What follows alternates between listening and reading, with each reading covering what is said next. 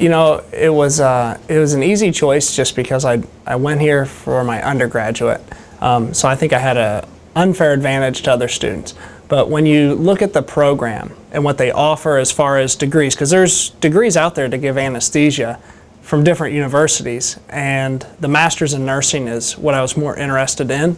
Um, I think it lays a better foundation should I want to go back and teach uh, as far as going on for my PhD in my career field or my graduate program.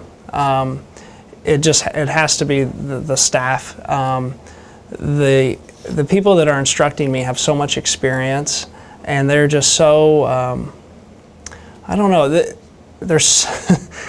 they're so intelligent, but they know how to teach. They know how um, to be so patient with us when we're learning um, such an advanced career field, and there's so much to learn every single day.